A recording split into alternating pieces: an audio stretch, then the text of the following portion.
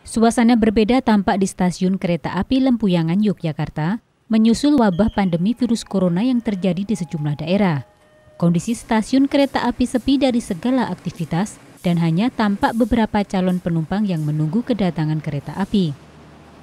Bahkan dari sejumlah kereta api yang diberangkatkan dari stasiun Lempuyangan ini, rata-rata gerbong hanya berisi 10 orang penumpang. Akibat kondisi ini, PT KAI Daops 6 Yogyakarta memutuskan membatalkan sebanyak 122 jadwal keberangkatan kereta api selama satu bulan penuh. Manajer Humas PT KAI Daops 6 Yogyakarta, Eko Budianto menyatakan, pembatalan jadwal keberangkatan kereta api mulai 1 hingga 30 April 2020. Selain kereta api reguler tujuan Jakarta, Bandung dan Surabaya, kereta api tujuan Bandar Internasional Yogyakarta dan Adi Sumarmo dibatalkan.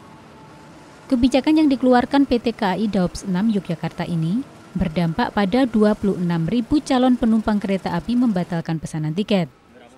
Uh, wabah virus COVID-19 ini hmm. atau virus corona, Dan.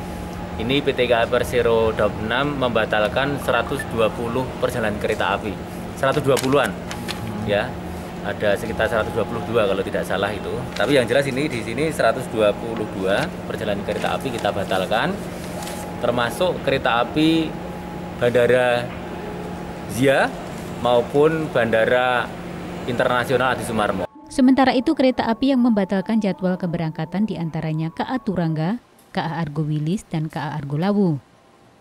Bagi calon penumpang kereta api yang membatalkan pesanan tiket, PT KAI akan mengembalikan uang pemesanan tiket utuh 100%.